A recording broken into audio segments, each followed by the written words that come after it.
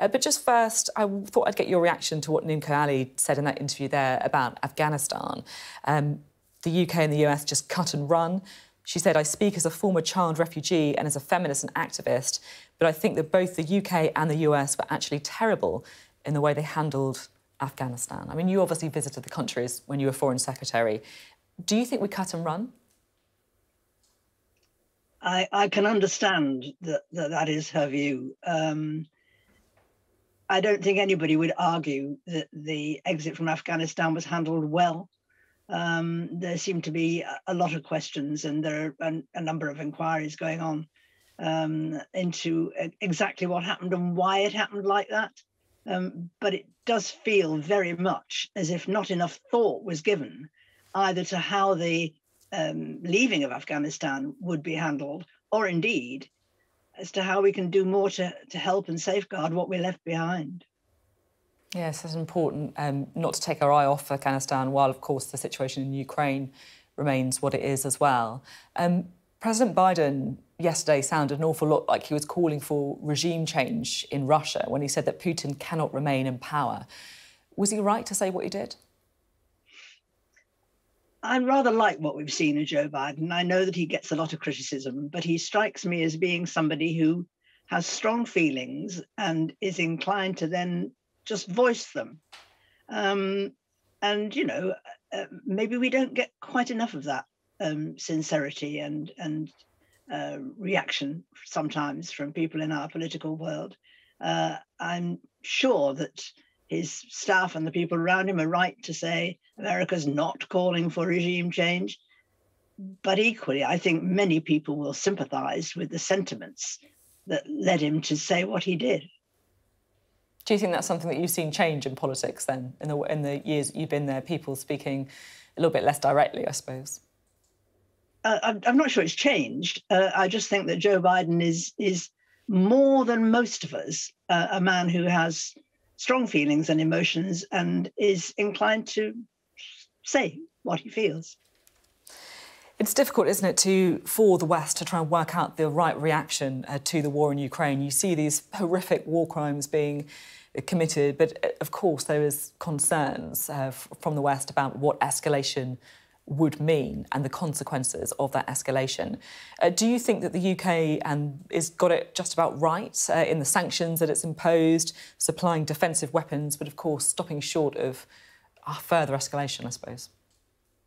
I think it's a very difficult balance to strike. We are right, of course, to do everything we can to support Ukraine, but sometimes I hear people um, saying, "Oh, you know, we're not doing enough," and that that may be right. Maybe there's more we can do but um, as if, uh, okay, let's send troops in. And I kind of think, are you really advocating a war between NATO and Russia?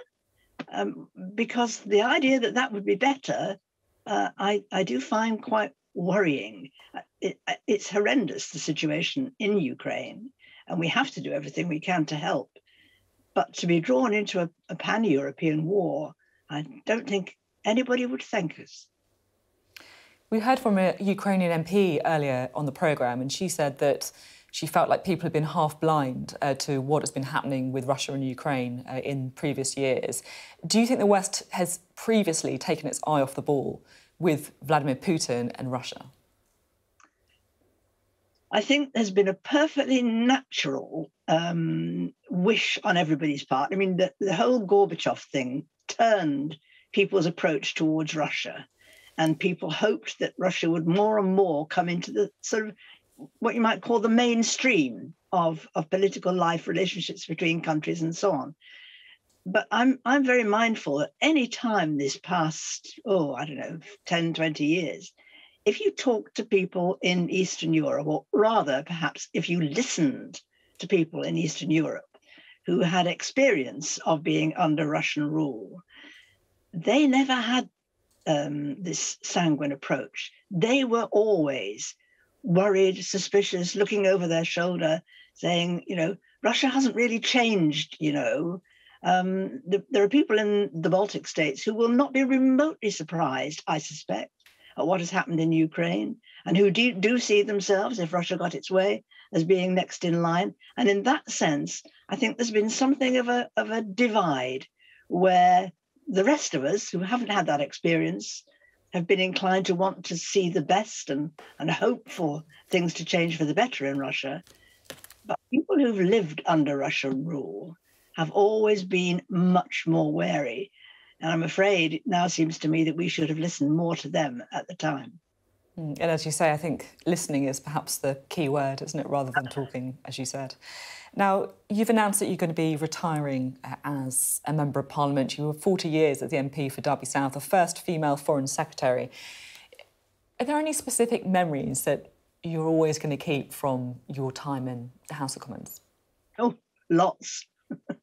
uh, too too many um, to go into. I, I, think one of the things that I would say though is um, when I was first elected, this is a gross shorthand, but roughly speaking, if somebody said there was a photo call for all women MPs, you only had to look round and you had an idea whether we were all there or not. Um, now, I mean, you know, um, it's it's not remotely like that. And indeed, there was a turning point when we used to have a special section in the members' cloakroom uh, just for the ladies. Um, and I think it was after the 87 general election that I came back and my peg had moved. And I was like, uh, oh, well, there are so many of you ladies now that we've had to make it alphabetical. So there, there, are lots and lots of um, different memories, most of them good. Most of them good is there. I think that is that's nice. I love the fact that they had to make it alphabetical uh, after that election. You were also, of course, Labour's first female leader when you were appointed acting leader in 1997 you've said since um, that you know the reason the party's never elected a elected a female leader is because it was just never was the right person at the right time. But you know, come on, the Labour Party was founded in 1900. Are you really saying it's never been the right time for a female leader? I just think what people don't realise who aren't practitioners in politics is how much luck there is in politics. I mean, uh, let's take the, the classic example Margaret Thatcher.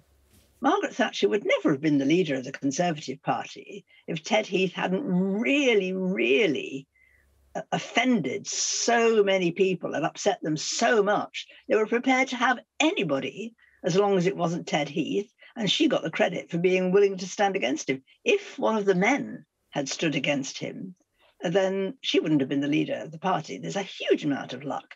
And personally, by the way, my view is the first woman prime minister should have been Barbara Castle. She would have been an absolute star.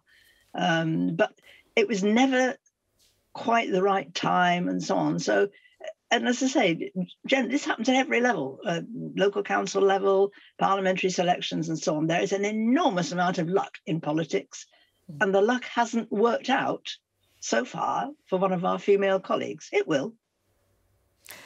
Just finally, is there anything that you're particularly looking forward to doing more of in your retirement? I mean, I know you're a keen a caravanner. I think um, people always remember these sort of images of you on your caravanning holidays. Is, what are you looking forward to doing more of? Well, we had to give up our caravan about a year ago because of my husband's health. Um, and I'm thinking about whether or not to try and get a motor caravan, but there's a space thing about it. That's that's all. Um, but uh,